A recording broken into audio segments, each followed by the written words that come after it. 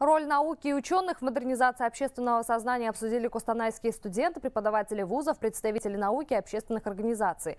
Там прошла открытая конференция «Кастолкс». На диалоговой площадке молодежь говорила о том, что совершенствовать свои духовные основы казахстанцы могут, получая качественное и доступное образование. Спикеры поделились опытом, как обучиться бесплатно на родине и за рубежом.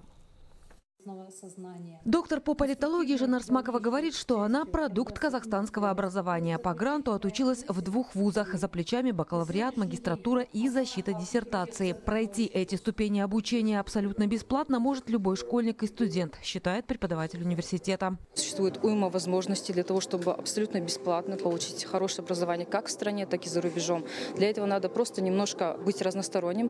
Двери этого НИИ прикладной биохимии открыты не только для студентов, но и для школьников. В будущем часть из них пополнит ученые ряды. Четыре лаборатории действуют при ВУЗе. Здесь проводят десятки исследований, в том числе и на генном уровне. По ДНК, по генетике можем определить инфекционное заболевание, причем присутствует ли в крови, допустим, возбудитель, если присутствует, то в каком количестве.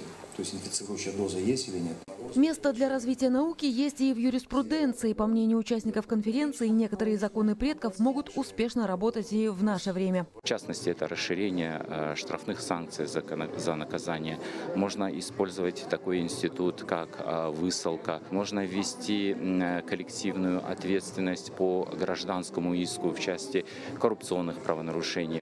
Свою точку зрения высказали и слушатели. Те, что из числа студентов озвучили свое видение современной науки и внесли предложения по реализации инновационных идей. Наталья Строкова, Сергей Трахтенберг, Кустанай, Хабар 24.